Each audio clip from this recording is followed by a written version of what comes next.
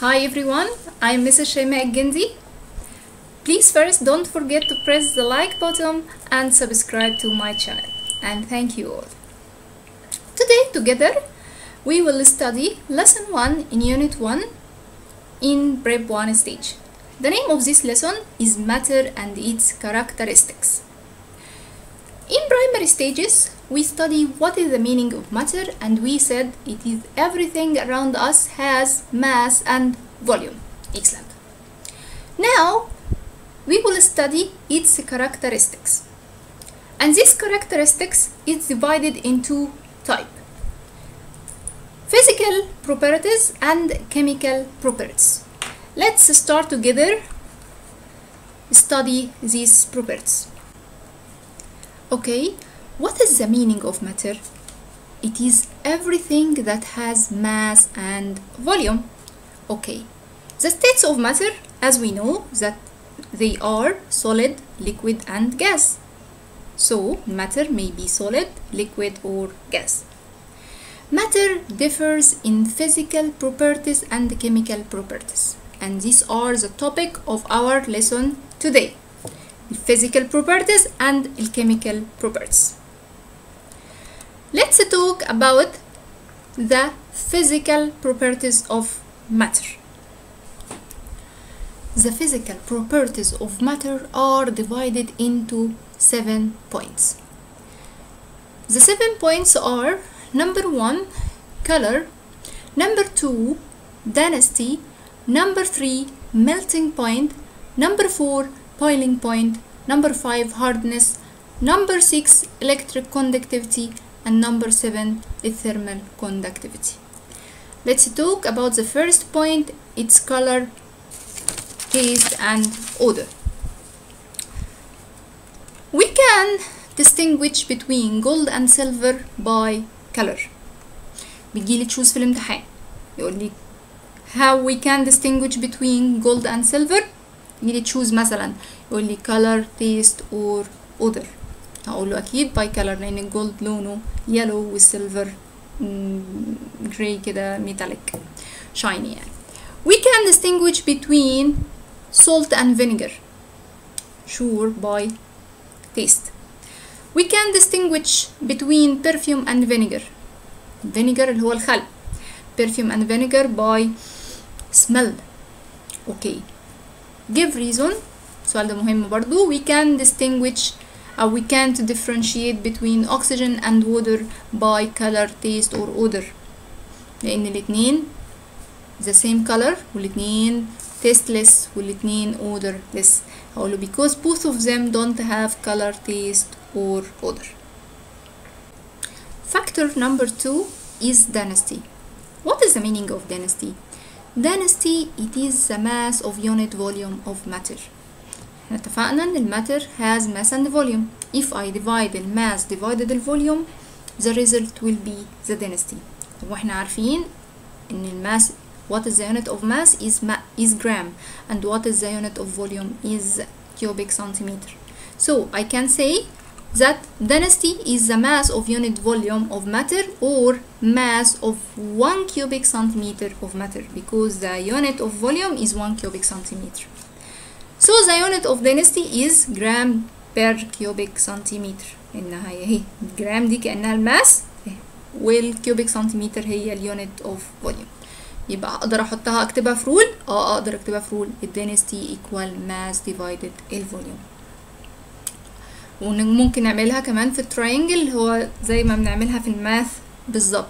ال d equal m divided ال v يعني ال density equal mass divided ال volume لو كان آه طالب مني determine the volume يبقى ال volume equal mass divided ال d طب لو كان طالب مني determine the mass هقول d by v okay في هنا two sentence مهمين جدا بيجوا give reason equal masses of different substance have different volume أو ال opposite بتاعها هيقول لي equal volume of different material have different masses يعني إيه الكلام ده يعني لو عندي two pieces equal volume أهم واحد iron وواحد wood.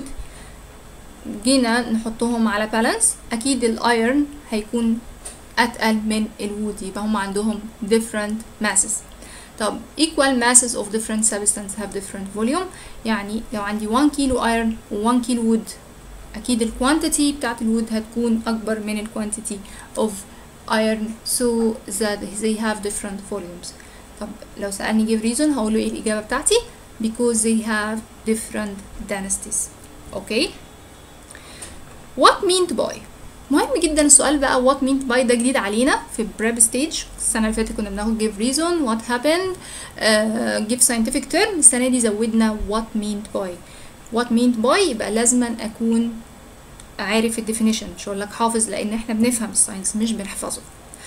يبقى what meant by the density of copper is 8.9 gram per cubic centimeter it means that the mass of 1 cubic centimeter of copper is 8.9 جرام يعني حبيت ارسمها لك ايه في الشكل عشان تفهمها اكتر ده اهو عملت لكم كيوب اهو وكيوب تاني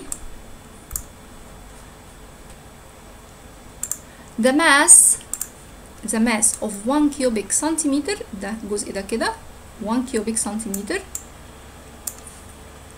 الماس of 1 cubic centimeter of matter equal how many 8.9 gram but the mass of 1 cubic centimeter of copper equal how many 8.9 gram okay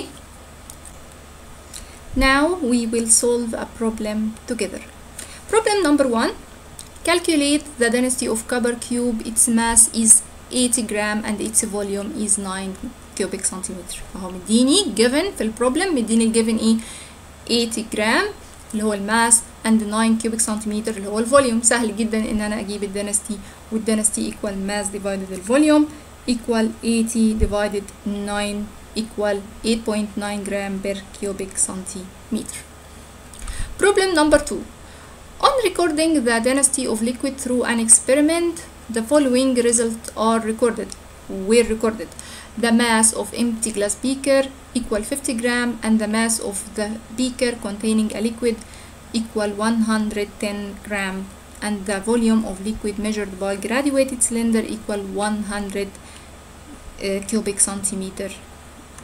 So determine the density طبعا ال density rule بتاعتنا بتقول إيه؟ density equal mass divided ال volume طب أنا هاجي أبص على ال given اللي هو مديني كده في ال problem مديني هو mass و mass و volume يبقى إزاي يديني two masses لأن هنا ال mass ده الأولاني بتاع empty glass beaker مش بتاع ال liquid طب ال mass هنا بتاع ال containing beaker containing a liquid. يعني ال beaker plus ال liquid أنا عايزة ال liquid بس. يبقى هضطر أعمل إيه؟ هعمل subtract. يبقى هعمل subtract ال 110 minus ال 50 يبقى انا اقدر اجيب ال mass of liquid only without the glass of the beaker اوكي يبقى هنا في الانسر بتاعتي هقول ال mass of liquid equal 100 minus 50 equal 60 gram and the density is mass divided the volume equal 60 divided ال 10 اللي هي ال 100 sorry اللي هي الفوليوم of liquid so equal 0.6 gram cubic centimeter وما ننساش ال units في another kind of problem بيجيلي برضو هنا في ال problem دي اداني 2 masses and 1 volume. ساعات بقى بيجيلي 2 volume and 1 mass. يبقى هنا ساعتها هضطر برضو أعمل subtract لل volume الكبير minus ال volume الصغير. بيقول لي ساعتها الفوليوم of uh, liquid in uh, in a graduated cylinder كان 100 مثلا و raises up to 110 يبقى انا عايزه اجيب الفوليوم بتاع الليكويد بس يبقى هنا uh, equal البيجر فوليوم minus السمولر فوليوم note substance of densities more than the density of water sink such as iron nail and coin يعني لو جبت بيكر بالشكل ده قدامنا على ال screen filled with water. إيه اللي هيحصل لو جبت iron nail and immerse it in water هيحصل له falling down يعني ينزل تحت كده. يبقى ده هنا حصل له sink. sink يعني fell down. طب لو جبت وود مثلا أو كورك أو اويل أو ايس إيه اللي هيحصل؟ هيحصل له float on water. طب ايه السبب بقى what is the reason of that because الايرن nail has more density than the density of water density بتاعته is bigger than the density of water but the wood and the oil and the ice has less densities than the density of water يبقى again عندنا الحاجات substance اللي عندها more density than the density of water بيحصل لها ايه sink but substance which had less density than the density of water float on water بيجي لي give reason بالشكل ده كده في الامتحان give reason water isn't used in extinguishing petrol fires ايه اللي هيحصل what happened لو عندي حرائق بترولية جبت ال water عشان أعمل بيها extinguishing لل fire دي. هو مين less density البترول or ال water؟ أكيد البترول. فالبترول هيحصل له إيه؟ float on water. فكده أكيد ال fires مش هتطفي لأن البترول فوق. وهو اللي بيحصل له burning. So the density of petrol is less than the density of water. So it floats on water. يبقى عشان كده الwater isn't used in extinguishing petrol fire give reason a piece of wood float on water while a piece of lead sink اللي بيحصل لي هنا give reason ليه الwood float لكن الليد sink because the wood has less density than the density of water but a lead has more density than the density of water give reason balloons filled with helium and hydrogen gases rises up البالونز اللي هي filled with hydrogen and helium rises up بتطلع اللي احنا بنستخدمها في أعياد الميلاد بتطلع كده فوق ناحية السقف إيه why they rises up because the density of them less than the density of air البالانس دي موجودة ايه الميديا اللي موجودة فيها الاير يبقى هما less density than the density of air factor أو point number 3 is melting point في physical properties احنا كده خدنا factor number 1 ال color وال taste وال odor factor number 2 is density factor number 3 is melting point melting point what is the meaning of melting point melting أخدناه primary 4 it is the change of matter from solid state to liquid state يعني لو جبت cube of ice وسبته left, uh, left outside the refrigerator ايه اللي هيحصل له it will melt يبقى melting it is the change of matter from solid state into liquid state by heating melting point طالما قال لي point يبقى دي دي بت equalize the meaning of temperature melting point يبقى هبتدي السنتنس بتاعتي it is the temperature at which matter begin to change from solid to liquid طالما قال لي melting point يبقى الستيتس إيه from solid to liquid طالما قال لي melting point يبقى هو بيتكلم عن temperature يبقى it is the temperature at which matter began to change from solid into liquid some substance have high melting point and another substance have no melting point زي مين اللي عندهم ال high melting point زي ال iron بياخدوا high temperature أو uh, uh, heat بياخدوا حرارة عالية قوي to melt ال iron والالومنيوم and all metals طيب substance عندهم low melting point بقى يحتاجوا حرارة قليلة low heat to be melt زي مين زي ال ice طلع اهو جبت حتة ice من ال refrigerator سبتها بره مجرد ما تتعرض لل heat of the temperature of the room بيحصل لها melt وإيه تاني؟ ال wax اللي هو الشمع and الباتر اللي هو الزبدة. Life application copper gold alloy وال nickel chrome alloy ودول مهمين جدا جدا جدا لأنهم بيجوا كتير جدا في الامتحانات complete copper gold alloy ده س... alloy يعني سبيكة. عارف السبيكة اللي هي اللي بتشوفها كده في ال cartoons بتاعت الذهب دي عبارة عن copper gold alloy مش جولد صافي. بيبقى فيه نسبة copper قليلة معاه. بستخدمه في إيه؟ used in making jewels المجوهرات يعني. nickel chrome alloy is used in making heating coils. لو فتحتوا ال kettle أو ال boiler ال boiler اللي في المطبخ هتلاقوا ال base بتاعته عبارة من الشكل ده. إيه هو الشكل ده؟ ده اسمه heating coils. مصنوعة من إيه ال heating coils دي؟ مصنوعة من ال nickel chrome alloy سبيكة كده alloy اسمها nickel chrome دول two metal واحد اسمه نيكل والتاني اسمه chrome give reason stainless steel alloy is used in making cooking pots ليه استخدمت ال stainless steel alloy is used in making cooking pots because it doesn't rust. أول حاجة إن هو مش بيحصل له rusting. تاني حاجة عنده high melting point عشان إحنا ال factor اللي إحنا فيه ده اللي هو بنتكلم فيه ال melting point يبقى هو عنده إيه؟ high melting point عشان كده بستخدم في صناعة ال cooking pots الحلل يعني. ليه بستخدم ال stainless steel لأنه عنده high melting point لأنه لو عنده low melting point هيحصل له melt فلازم أستخدم حاجة تكون عندها high melting point تاني حاجة اكتب له doesn't rust. ما كتبتش doesn't rust عادي. أنا بفكر في في السؤال بتاعي هو أنا ليه استخدمت ال stainless steel في صناعة ال cooking pots فأكيد عشان عنده high melting point ممكن أقول له كمان good conductor of heat وممكن أقول له doesn't rust. يعني كل دي factors factors إن هي تخليه used in making cooking pots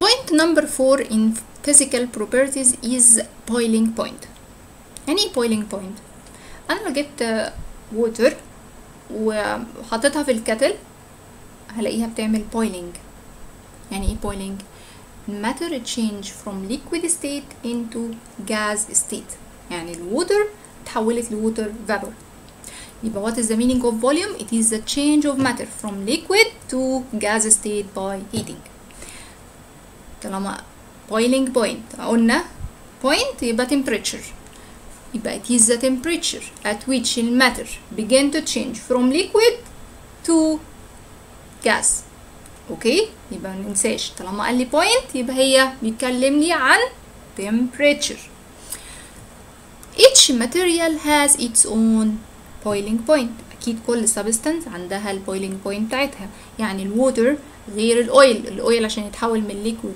ل gas يحتاج high temperature. لكن ال water عندك إحنا عارفين طبعا ال water most common uh, used in our life. وعارفين إن ال boiling point بتاعتها كام؟ how many? 100 celsius degree. Life application. The separation of petrol component depend on their different boiling point لما بيجي يستخرجوا البترول علشان يفصلوه مثلا. لمواد مختلفة يعني زي مثلا الكيروسين البنزين السولار ال natural gas كل ده عندهم different density ال high density بيبقى تحت وال low density بيبقى فوق. طب ده بيتفصلوا إزاي؟ بيحصل لهم ال separation ده إزاي؟ بال boiling point أفضل أعمل لهم boiling high temperature. كل واحدة لما تيجي عند ال boiling point بتاعتها هيحصل لها separation. وبكده أنا استخدمته استخدمت فكرة ال boiling point في ال separation of petrol component point number 5 is hardness. Hardness معناها الصلابة some solid substance are soft at room temperature and the other substance need heat to be softened and the other can't be softened يعني إيه الكلام ده يعني بيقول لك بعض المواد soft at room temperature يعني تقدر تعمل لها ductility عندها ductility كده في الروم temperature زي مين؟ زي ال rubber. okay؟ ال rubber اللي هو المطاط يعني. زي الأستيكة الأستيك. تمام؟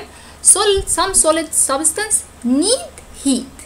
يعني بتحتاج heat to be softened. زي مين؟ ال metals. ال metals عشان أقدر أشكلها وأعملها حاجات كده. أشكال محتاجة need heat to be softened. Some solid can't be softened بقى. ما, بقدرش أخليها soft خالص في ال at room temperature. زي مين؟ زي الكول والسلفر give reason the rods of building house are made of iron not copper. The rods اللي هي ال- ال- العواميد الحديد اللي أنا ببني بيها ال- العمارة بتاعتي ليه استخدمت الايرن نوت كبر ليه؟ واي لأن الايرن عنده hardness more than copper يبقى because iron is harder than copper point number 6 is electric conductivity واخدناها مع بعض في primary 6 في درس electricity وقسمنا we are classified the material into two types the first type is good conductor of electricity اللي هم سميناهم electric conductors والماتيريالز التانية سميناها bad conductor of electricity اللي هي الالكتريك insulators ال example اللي خدناها قبل كده كان ال metals. هي ال metals هي good conductor of electricity بس السنة دي زود علينا solutions يعني إيه solutions يعني أخدنا برضه يعني إيه solutions قبل كده؟ solution يعني محلول. زي مين؟ Example acidic solution alkaline solution salty solution. دول مهمين جدا لأن بيجي لي في complete يقول لي space and space solution are good conductor of electricity. هضطر أكتب له two solution. زي مين؟ acidic solution يعني إيه acidic يعني حمضي زي الليمون كده. طعمه سور شوية. alkaline solution يعني قلوي. salty solution يعني مية بملح. and all metals فلازم أحفظ two solution at least بقى إيه هما good conductor they allow electricity to flow through bad conductor of electricity زي مين؟ زي ال sulfur كل طبعا ال non-metals آه بس آه، آه، اللي زودنا عليهم برضو السنة دي ال solution ال sugar solution وال hydrogen chloride in benzene مين هما ال electric insulator دول؟ material don't allow electricity to flow through. يعني لو جبت مية بملح وعملت electric circuit كده وحاولت آه، أشوف أدخل إيدي كده أشوف هتكهرب ولا لأ مش هتكهرب لأن ال sugar solution bad conductor of electricity okay. لايف ابليكيشن copper and aluminium are used in making electric cables طبعا انا بفكر انا باجي احل الساينس باجي احل أسئلة- اسئله الجيف ريزون why copper and aluminium I use them to make the electric cables because they are good conductor of electricity plastic and wood are used in making handle handles of screwdrivers يعني screwdrivers اللي هو المفك بتاع الكهرباء ده فليه أنا عملت الهاندل بتاعته من البلاستيك والوود because they are bad conductor of electricity point number 7 is thermal conductivity برضو أخدناها قبل كده قسمنا الماتيريالز into two types good conductor of heat اللي هما الهيت conductors which they are materials materials that allow heat to pass through زي مين example الميتالز and bad conductors of heats سميناهم heat insulators which they are materials don't allow heat to flow through زي مين النون ميتالز زي مين مثلا كربون الوود البلاستيك and glass life application give reason cooking pots are made of aluminum why because it ha it has high melting point الفاكتور بتاع melting point وهنا because it is it is good conductor of heat ممكن اقول له ايه تاني ممكن اقول له doesn't rust give reason handles of cooking pots are made of wood or plastic الهاندلز دي دي مصنوعة من الوود or البلاستيك because they are bad conductor of heat عشان ما يحصليش harm في my tissue اوكي اوكي كده نكون خلصنا ال ال physical properties اللي هما كانوا 7 properties حد فاكرهم معايا number 1 كان مين هم color taste and odor number 2 density number 3 melting point number 4 boiling point number 5 hardness number 6 electroconductivity and number 7 thermal conductivity وبكده نكون خلصنا ال physical properties نتكلم بقى عن الكيميكال بروبرتيز الساينتست قسموا الميتالز into three types according to, according to their chemical activity قسموهم لإيه وإيه وإيه قسموهم ل very active metals less active metals inactive metals again scientists classified the metals into three types according to their chemical activity very active metal less active metal inactive metal طب إيه الفرق ما بينهم what is the difference between them the very active metals they are metals which react with oxygen immediately يعني إيه immediately يعني وقت كده تفاعلوا مع الايه مع الاكسجين in humid air طبعا إحنا عارفين ان ال air فيه water vapor يعني إيه water vapor يعني بيكون اسمه humid air يعني contain H2O طب ما هو هيحصل له react with oxygen. اللي موجود فين؟ في ال humid air طب مين ال elements اللي بيحصل لها كده؟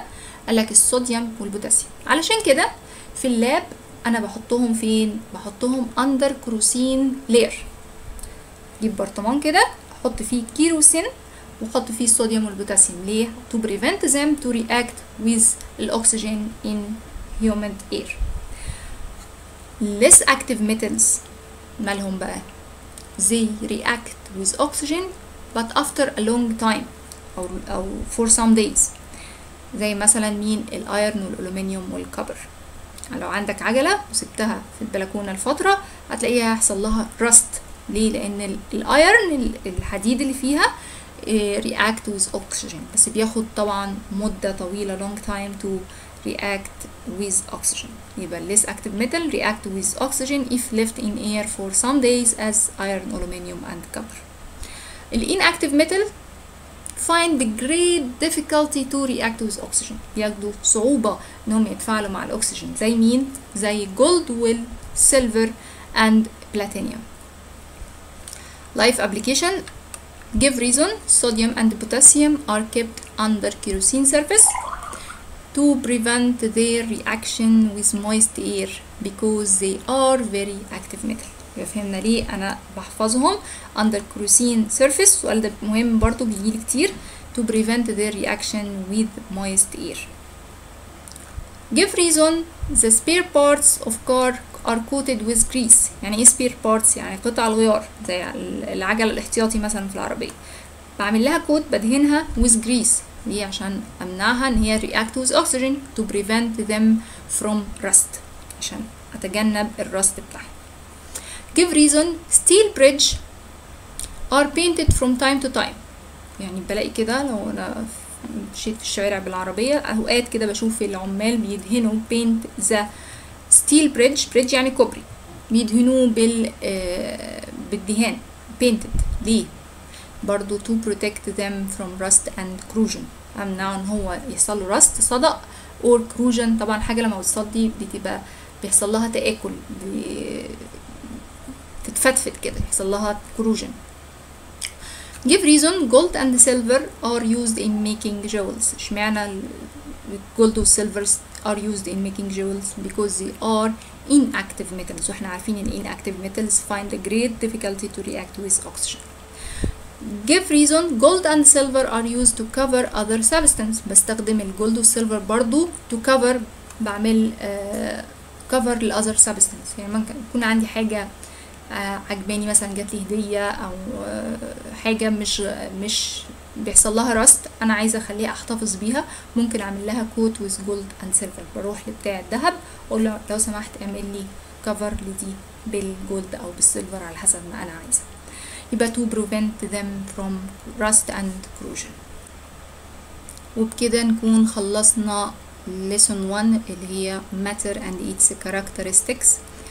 لو في أي سؤال وقف معاكم وانتوا بتحلوا يا ريت تكتبوا لي في ال comments كان معاكم Mrs. شيماء الجندي bye